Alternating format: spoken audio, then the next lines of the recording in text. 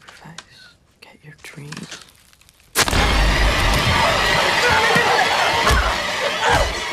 Psycho! I'm gonna kill you! I'm gonna kill you! Oh my god! Oh my god! What's wrong with you, you little pervert? What? You can't make me feel bad because I defended myself. I knew you wanted me this whole time upstairs in your little room just jerking off. You're just sick. You were trying to kill me. I wasn't trying to kill you by punching your dick. Oh, I so violated before. Oh my god. I only signed up for this dumb shit so I could have my dream job. And instead, what do I have now, huh? This. One deflated, ugly boob. Oh, my life is basically over. Oh. I, I mean, you're still super hot. What kind of job do you want? A journalist.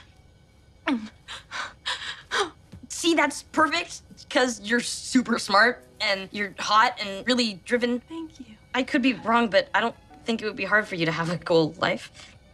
Really? You think so? You think maybe we could just walk out of this whole thing and we could just call the police and just, you know, forget this ever happened? Yeah.